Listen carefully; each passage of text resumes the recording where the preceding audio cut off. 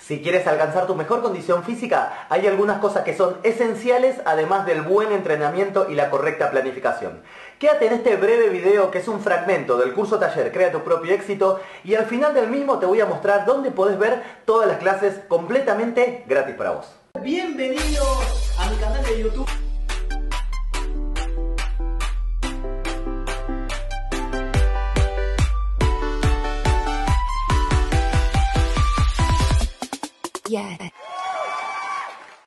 El entrenamiento de calidad importa, no hay que hacer cualquier cosa. Bien, para ir finalizando, el, exceso de entrenamiento puede provocar lesiones. ¿sí? Si entrenas mucho, descansas poco, comes mal, eh, te vas a lesionar. Eso no hay ninguna duda. Si el cuerpo no se recupera, no descansas lo suficiente, no va a haber mejora. O sea, no sirve que te mates entrenando y que no duermas o que duermas poco y que quieras el otro día seguir entrenando con alta intensidad porque tu cuerpo no se lo va a bancar. La calidad del entrenamiento es elegir los ejercicios adecuados, el objetivo, el volumen, la intensidad y el descanso para que sean para vos. Quizás esto te excede en tus conocimientos si no sos un profesional de la actividad física, pero para eso está el profesor o el entrenador que vos tengas. Preguntale específicamente cada una de estas cosas. ¿A qué intensidad hago? ¿Cuál es el descanso? No es lo mismo que haga un descanso para todos igual. El descanso tiene que ser para mí, la intensidad para mí, el volumen para mí, eh, porque el objetivo es mío. Bien, entonces vos tenés que exigirle todo esto a tu entrenador.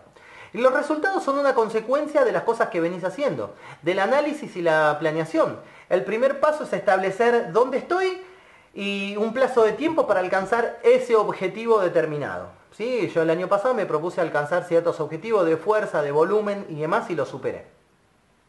Segundo, tengo que testear para saber dónde estoy cuáles son mis capacidades, eh, el nivel y cuáles son las que ando mejor, cuáles son las que ando peor, para ir trabajando y nivelando. En mi caso concreto, este año voy a trabajar un poco más flexibilidad porque me di cuenta que la flexibilidad no está tan buena como los niveles de fuerza que los tengo hoy muy bien. ¿sí?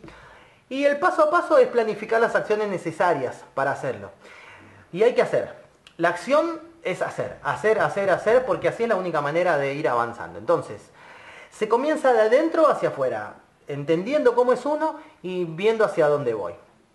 Bueno amigos, espero que les haya gustado este fragmento del curso Taller Crea tu propio éxito. Te recuerdo que tiene tres ejes temáticos, cuerpo, mente y finanzas, con cinco clases cada una y con muchos temas desarrollados para ayudarte a alcanzar tu mejor versión, tanto salud física, mental y financiera.